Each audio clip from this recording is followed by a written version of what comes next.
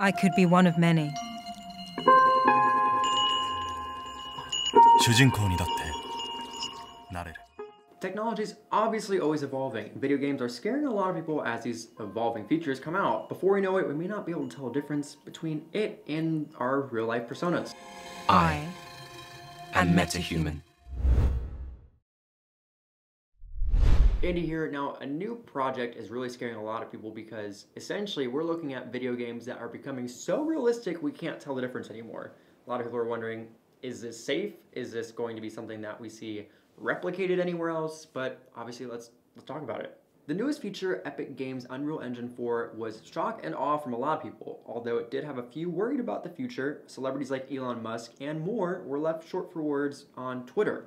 The new project named Metahumans is definitely causing an uproar. Now the project developer Unreal Engine has been at the forefront of a lot of games since the 1990s obviously. They've made a lot of games including Kingdom Hearts and Fortnite and these games essentially are becoming so realistic a lot of people are loving that factor a lot of people are also scared of that factor of how close we are with graphic design software and more that are simulating real life events out brief candle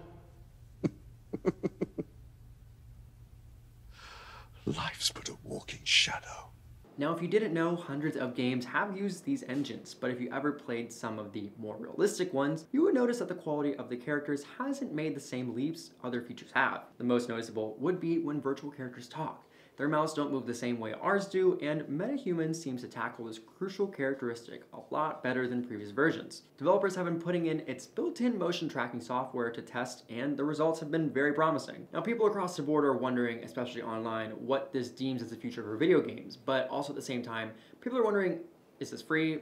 Is this a problem? Can people do it with ease? And yes, it's free.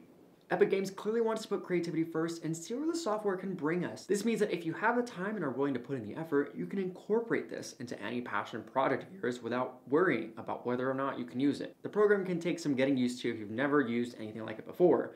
If this is something you find exciting, it's probably a good idea to start working with it now. Epic Games has promised that this is only beginning, and looking back at the track record, they're most likely telling the truth. With all these possibilities, the real question is what you can't create with a tool like this. So obviously this is really cool because you get to play video games that are so realistic it hurts, but also at the same time it makes people like me wonder, are they going to essentially make real life events look real or fake because we can't tell the difference between video games and reality anymore. But let us know what's trending with your opinions, and for more social media news daily, head to whatstrending.com. Follow me, Andy Lalwani. Maybe we'll see you play these video games soon. Who knows?